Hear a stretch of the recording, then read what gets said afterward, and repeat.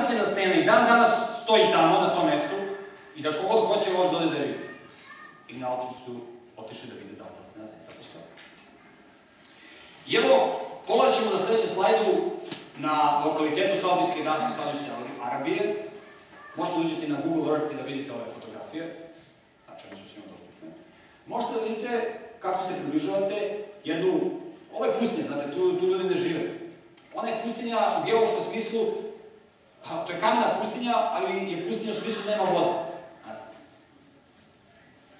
I onda možete vidjeti jednu neobičnu geološku strukturu koju nigde u prirodi nećete vidjeti. U prirodi ovakve strukture ne nastaje. Evo pogledat ćemo sledeći slajd. U pitanju je stena visoka 18 metara, kao zgrada šest pratova, koja je rastrpljena od vrha do dna. Evo pogledat ćemo sledećem slajdu kako izgleda rekonstrukcija tog eventualnog događaja ako se zaista desi. Ćemo sada da testiramo da li se desio, ćemo da slepo verujemo. Ćemo da primenjamo logiku, da se bavimo naukom. Tako. Evo dole, na ovoj desnoj fotografiji, crtežu dole možete da vidite čoveka radi upoređenja koliko je ova stena bila velika. Ono što je na sledećem slajdu, što ćemo vidjeti, kad pogledate donji deo ove stene, možete da vidite tačno geološku strukturu isušenog vodenog toka. Znači, u redu. Znači, možete da vidite strukturu isušenu, strukturu isušenog vodenog toka. Kada budete gledali, postoji jedan video koji se zove Potraga za pravom planinom Sine, postoje video zapisi, nemamo vremena sada da ih prikazujemo, da vidite kako izgleda taj region oko ove stene. Izgleda kao jedan veliki basen. Tačno vidite tragove po steni da je potekla, da je tekla velika voda. U sred pustinu. Nema nigde izvora voda.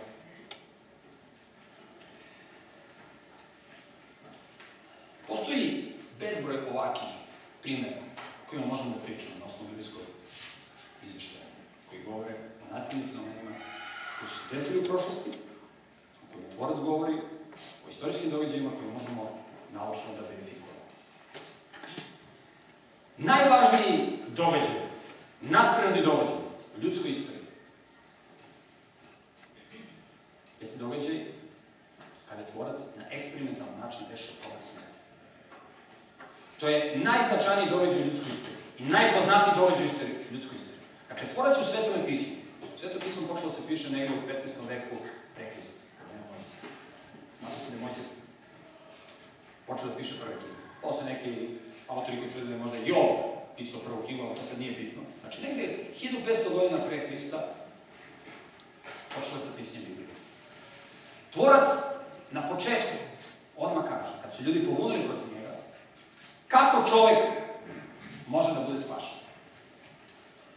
Tvorac daje obećanje da će doći neko ko će da plati umesto čoveka i koji će da omogući čoveku poratak, da omogući čoveku onaj drugi život koji se čoveku nudi. Kao što smo rekli, život na hebrejskom se kaže hajn, što znači dva života. Znači, treba omogućiti drugi život čoveka. I tvorac ima više razloga zašto priprema svoj plan. Jedan od razloga je da se na eksperimentalan način čoveku pokaže da smrt može da se reši. I tvorac unapred najavljuje taj eksperiment života, kako možemo da ga nazovemo sa aspekta nauka. Tvorac najavljuje da će doći na zemlju, da će poprimiti ljudski oblik, da će se roditi kao čovjek, da će pokazati da može normalno da se živi. Tvorac kaže gde će se roditi, kad će se roditi, ko će ga roditi, daje, unapred daje sve informacije o tom važnom događaju, o eksperimentu koji on postavlja na planeti Zemlje. Planeta Zemlja je laboratorija na kojoj će onda izvršiti taj eksperiment. Jedna jadna laboratorija koju je čovjek napravio tako. Tvorac hoće da stvori biće po svom običaju, zato im daje slobodnu volju. I tvorac je spreman da trpi najveće patije i stradanje, kao što, tvr, što, kao što trpi. On vidi sve što se dešava na planeti Zemlji. Mi vidimo samo malo pa nam je muka. I sad pogledajte. Tvorac najavljuje i na najveći praznik onog vremena, na praznik Paske, kada su po Božoj zapovesti svi izdravici morali da dođu u Egipat, u, u Jerusalim. Svi potomci onih koji su došli iz Egipta. Tu su dolazili mnogi drugi ljudi iz drugih naroda.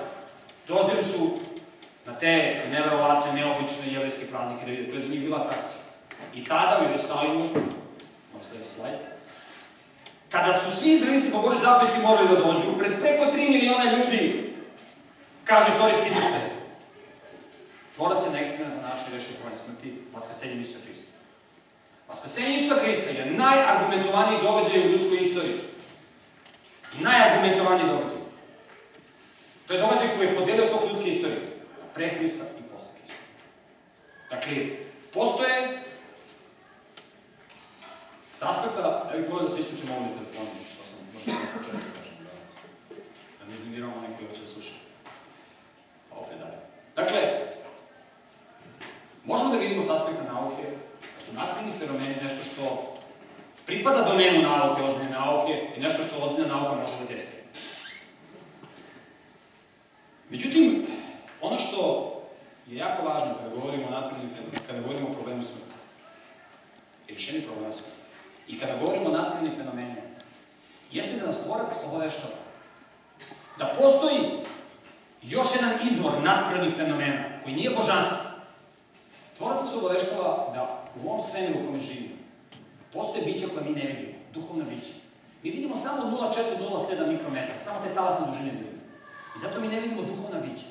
Tvorac nas obaveštava da postoje bića koje se zovu anđeli, koje mogu da se materializuju, koje mogu da uđu vidljivi deo spektra, mi možemo da ih vidimo.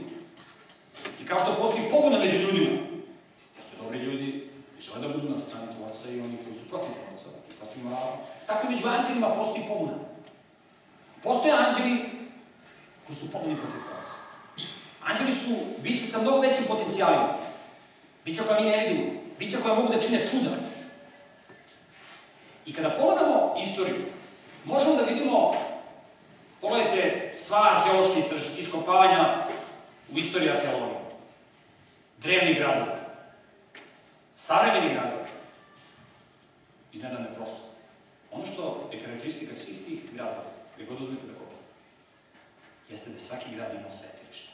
Ljudi su bili religiozni, ljudi su obožavali neki bogove.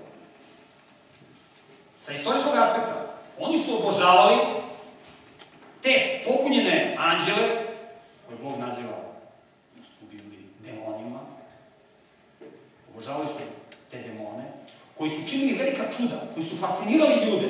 I ljudi su obožavali te, kako su ih oni zvali, bogove. I činili su sve što su bogovi ti, bogovi tražili njih. Oni su činili, ti bogovi su činili velika čuda. Fascinirali su ljude sa svojim potencijalom. Tvorac se obaveštava da vođa te pobune među anđelima je jedan anđel koji se zove, koji se nekada zvao Lucifer, što znači se ponaša, danas je ime promenjeno u Sotona, ili hebrejski Satan, što znači onaj koji uništava, onaj koji onaj koji vrši destrukciju, onaj koji laže, koji izvrći, koji izokreće. Satan,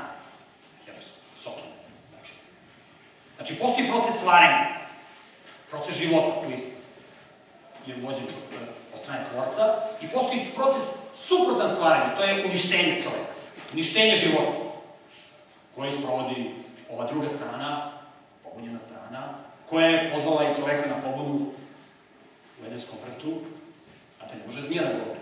To je jedan fenomen koji vi imate razni mrtvi predmeti kod idolopoklonika i na božačkim religijskim sistemima govore. I dešavaju se čuda. Sam Soton ne govori oko zmije. I to je bilo čudo za Evu. Bilo fascinirano. Onda je njoj rečeno Laže Bog da ćete umreti. Nećete vi umreti.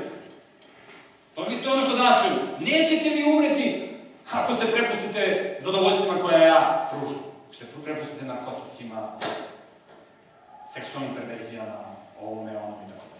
Nećete vi umreti. Vi ćete bogovi u ovome svetu. Vidite, to se danas dešava. To su bogovi u ovome svetu. Oni koji su najdestruktivni, oni koji su najnemoralni. Oni koji najviše uništavaju ljudske živote. I svoj život i drugi, i, i drugi, drugi život. Znači, postoji jedna druga strana. I to je vrlo važno da znamo da postoji jedan drugi izvor naprednih fenomena. Napravit ćemo jedan kratak istorijski pregled tih naprednih fenomena. Da bismo došli do određenih informacija koje su vrlo važne za nas koji živimo ovome, u ovom trenutku. I na ovom mestu. I u ovom, u ovom času ljudske istorije. Jedno od uh, najpoznatijih uh, mesta vezano za napredne fenomene jeste poznato mesto u Velikoj Britaniji koje se zove Stonehenge. Pretpostavljam da ste čuli